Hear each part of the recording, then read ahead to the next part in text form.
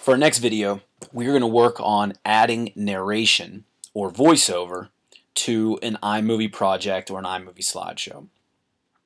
Now let's say for instance, uh, there are certain things that a caption or a title or simply just looking at a picture won't fully explain to your audience what it is that you are trying to get across. In these instances, it would be important for you to be able to do a voiceover or to narrate uh, a particular portion, or maybe you want to narrate the whole thing. The way that we can go about doing some narration uh, is right here in the middle, there's a little microphone. And when you click on the microphone, you will get some options on how to do some voiceover and how to do some narration.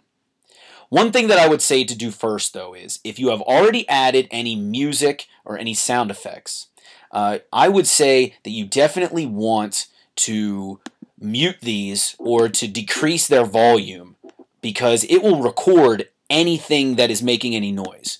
And the way that this program does this is it's going to actually play what your slideshow and what's going on in your slideshow. So you're going to want to be able to uh, mute out anything that's going on. So I'm just going to go into my uh, audio inspector and I'm just going to decrease the volume to zero, which means that uh, any music or sound effects that I have, uh, they will basically be muted. So we'll move those down to zero for volume. And now when I kind of scan over or play through, you can't hear anything because I've muted them basically.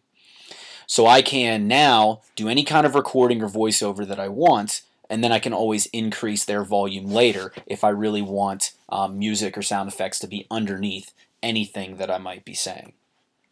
So here's how this is going to work. We want to click on the microphone for voiceover. Now you can see uh, on our preview screen it says click a clip to start recording.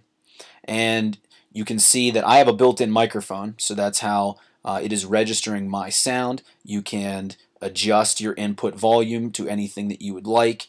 Uh, you can play the project while you're recording, or if you don't want that to happen, then it won't play the project while you're recording, so you don't have to worry about that either. Um, there will be some added noise reduction, uh, so it's got some nice features in order for you to do this. I wanted to play my project because I want to be able to see uh, the slides so I can be able to, to talk and discuss.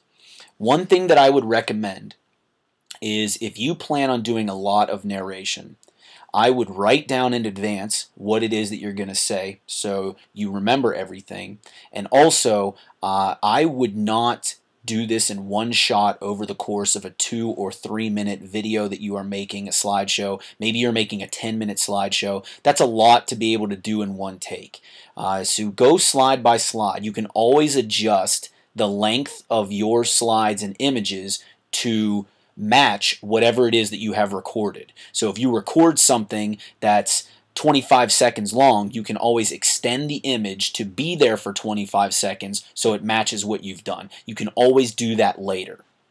But for instance, let's say that I want to you know, add something right here at the beginning.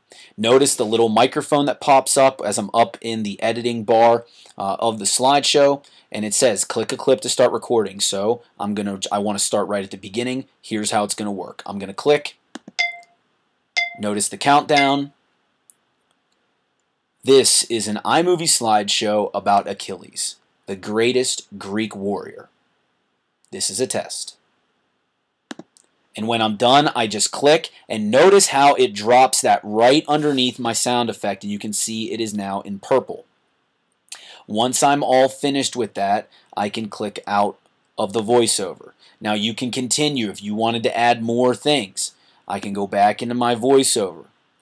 I can come back up here to the beginning and do another one. This is a test. Achilles a Greek warrior. Begins with the marriage of Peleus and Thetis, Achilles' parents.